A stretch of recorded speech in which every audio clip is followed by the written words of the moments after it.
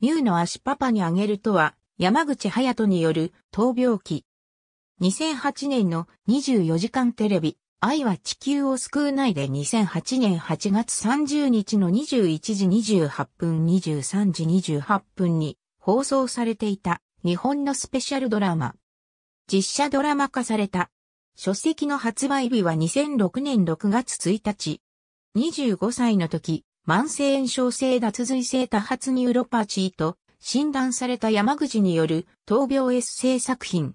入院から退院後の生活までの周囲の環境の変化、家族との交流、自身の心境などの体験に基づいた事実を自分目線で描いている。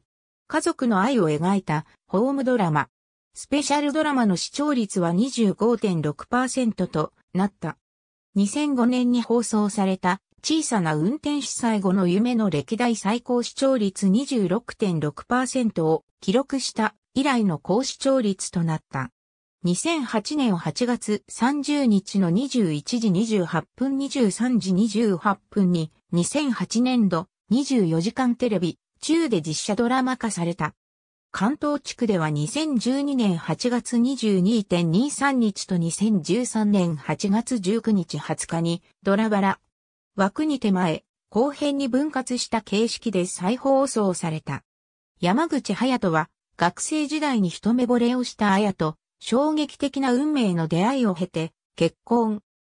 希望の職場に就職、マナ娘、ミュウも誕生し、順風満帆な人生と明るい未来を思い描いていた。しかしそんな隼人を突然の病魔が襲った。ありがとうございます。